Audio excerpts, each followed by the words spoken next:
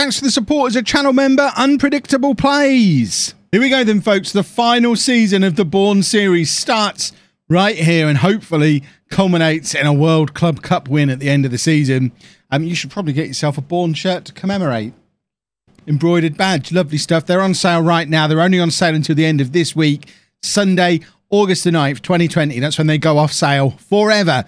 They will never be available again after that date. There's no point having the shirts on sale when the series has ended. So if you want a Bourne shirt, now you know who's who are the stars of the series, and now you know to get Cerner Jackie 16 on the back or um, Gomez 17 if you want your Christian Gomez shirt or whoever your favourite player has been from the series. We're getting another another run of shirts in right at the end so that you can get your favourites name and number on the back. Let me know down in the comments who you're getting, and the uh, the link is down in the description if you want to grab yourself a shirt.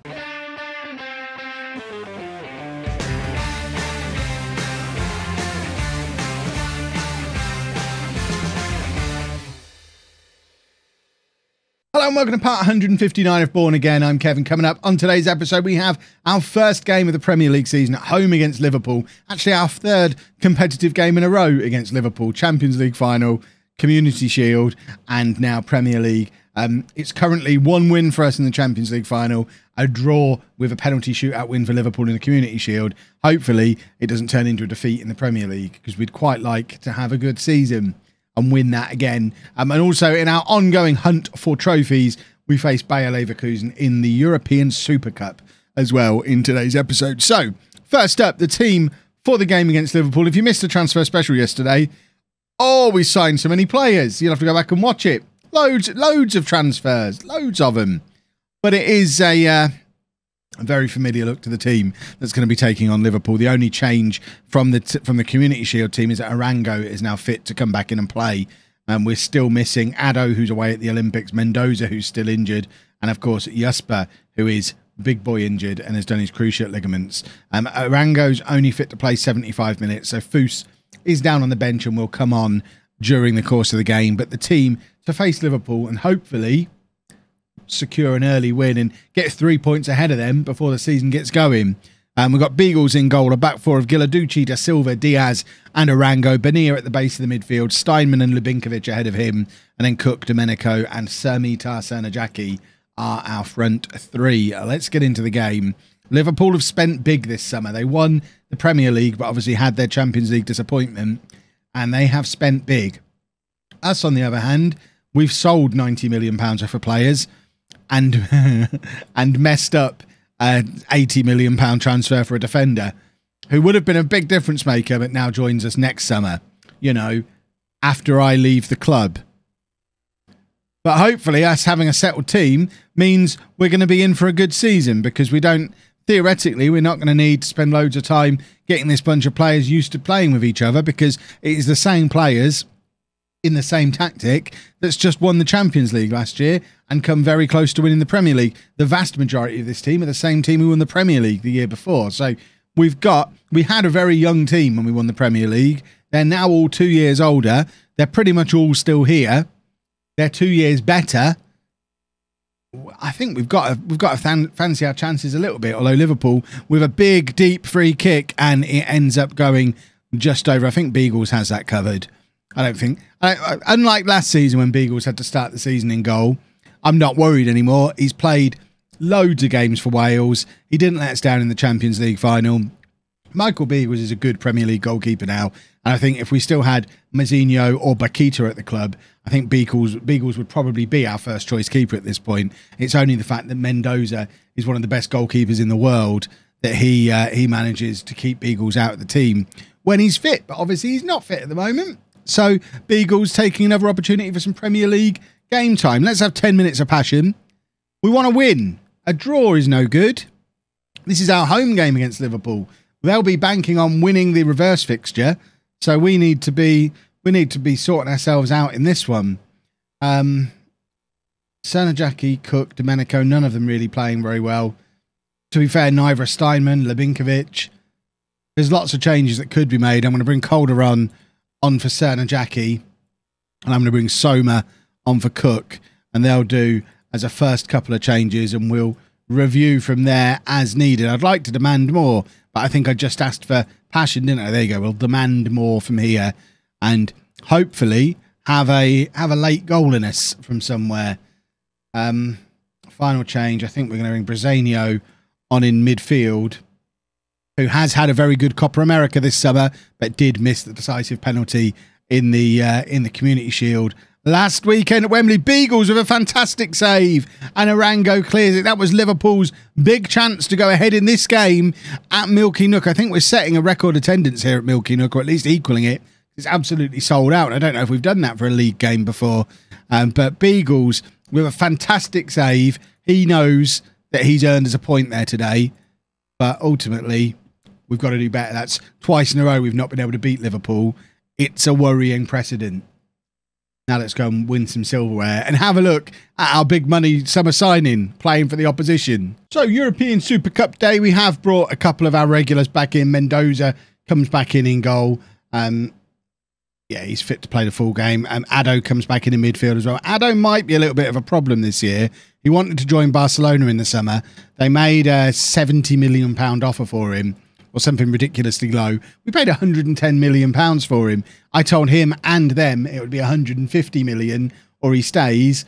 They withdrew their offer. He got a grumpy on. So I hope he isn't going to cause a problem. He's got three players who agree with him.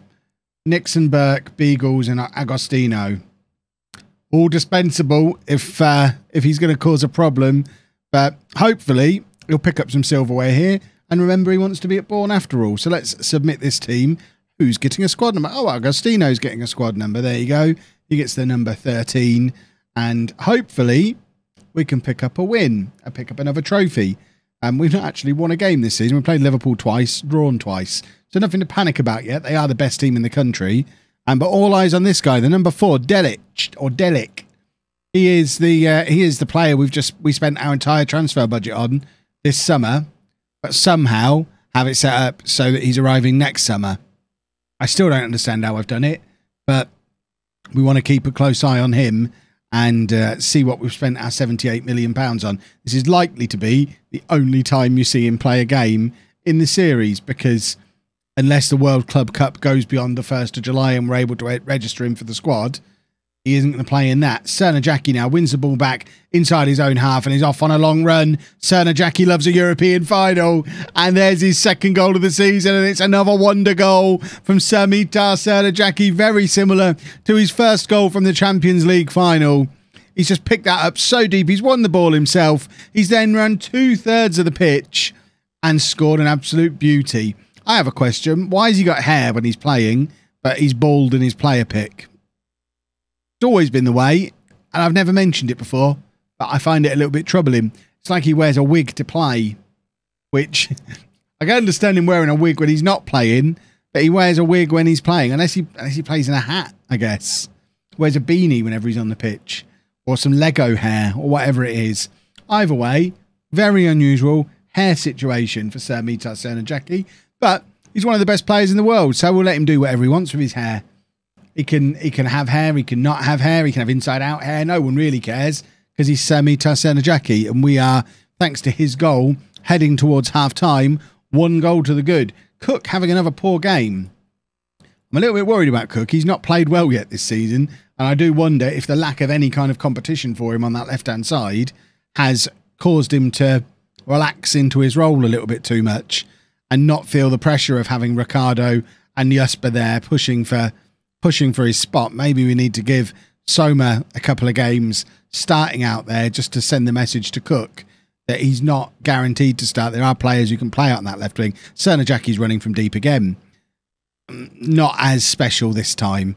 Weirdly, we've had more people turn up for this European Super Cup final than we had go to the Charity Shield final. Clearly, far fewer people. We've been to so many Community Shields, nobody cares about it anymore. Bourne fans were saving their money up for this one which I'm guessing I don't even know what is that Spain or Portugal or somewhere that doesn't do English writing for their stadium names. Estadio makes me think it's Spanish, but that could just be me being wrong. Let me know down in the comments whose ground are we playing at for this uh, for this match, and I'll go. Of course we are. I genuinely have no idea. I've never heard of this place. No idea. Right. Delic hasn't had a particularly good game for them, which I assume he's anxious. I assume it's because he knows that we've got to beat him. He let Sarah and Jackie run past him because he knows what's good for him. We, this is our this is my only opportunity to win this trophy. Right, we're going to bring Soma on on the left as threatened, um, and we're also going to bring Agostino on up front. To uh, it's not his debut because he did play back in the first season after he signed for us, but get a wonder kid up there. Why not? Um, he misses loses the ball immediately. Oh dear. Oh dearie dearie me. He's only back in this squad because we sold Christian Gomez. So there was kind of a, a gap for a fifth striker in our one striker squad. he probably should have let him stay out on loan for the year and just kept this role for Sebastião. Um, Arango's done very well there to not let their player get in behind him. Ball forward to Soma, brings it down nicely, and then he also loses out on the ball. The two strikers who've come on, they're not holding the ball up very well, are they? And that is a very, very good goal for Bayer Leverkusen. Mendoza, I can't blame him for it. Yes, he's been beaten at the near post again, but it is an absolute, an absolutely uh, well hit monster of a strike. Let's have a little look at it from this angle just to see how cleanly this is hit. And yeah, I mean, he, he'll probably has a right to be disappointed with himself, I don't think I can be disappointed with him for letting that one sneak past him. Right. Let's. We've got to take Arango off. Where's Foos? Foos is down there. Arango needs to come off because he's uh, he's not fully fit. Can we make another change in this game? Is this another glorified friendly? No. Hopefully, it's not going to take us to extra time because that's stupid. We don't need extra time at this point of the season, especially if we're not able to make another substitution. Addo's nervous. He wants to be nervous. I'm in a mood with him because he's disrupting the squad. We've not won a game since he started getting grumpy, and I am worried it's him. Um, time for everyone to dig in. Can we make another change now? Let's try again. See if we can get Briseño on. We can. Can we make a fifth change? Probably not. No.